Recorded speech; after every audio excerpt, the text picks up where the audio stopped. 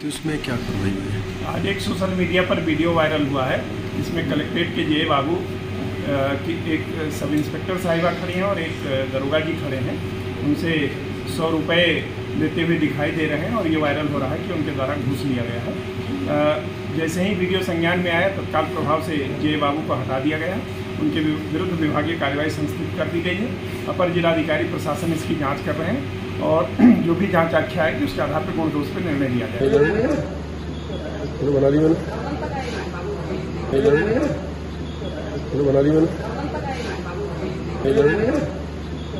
बना ली मैंने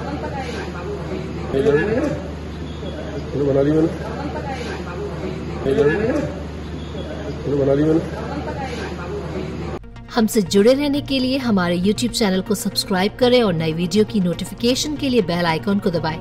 अगर आप ये वीडियो Facebook पर देख रहे हैं तो लाइक ज़रूर करें और ज़्यादा से ज़्यादा शेयर करें धन्यवाद